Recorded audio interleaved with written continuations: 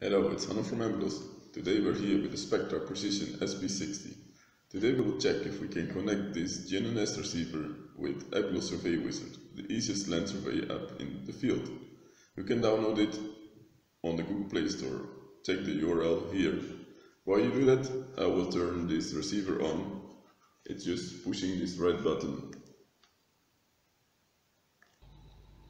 So now the Spectra Precision SP60 is on. Let's start the Trimble app space. We have to wait. Here we see a nice screen.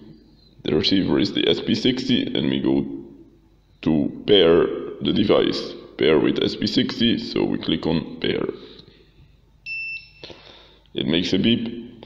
Then we go to the settings we make sure that the keep NMEA output uh, running button is on and then we click on configuration file.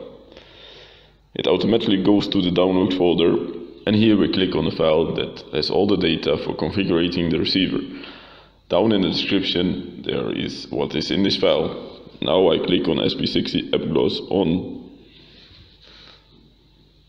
and we wait.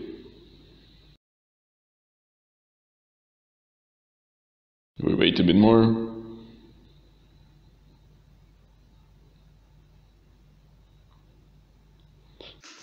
And then there's a bug.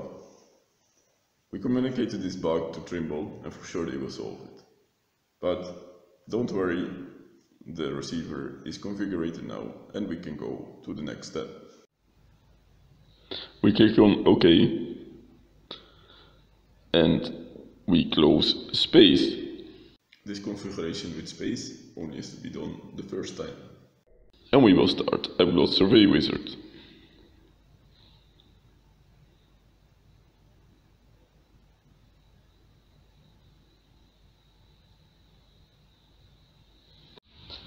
Now we're in Apglos Survey Wizard. Then we click on connect. Then we click on connect with Bluetooth device. We select the Spectra SP60 all the interrupt data is already filled in. Then we click on connect. We have a connection. And when it is RTK we can start to survey. Don't forget to download Apglos Survey Wizard in the Google Play Store. You can try it for free for 30 days. It works great with a Spectra SP60. Thanks for watching.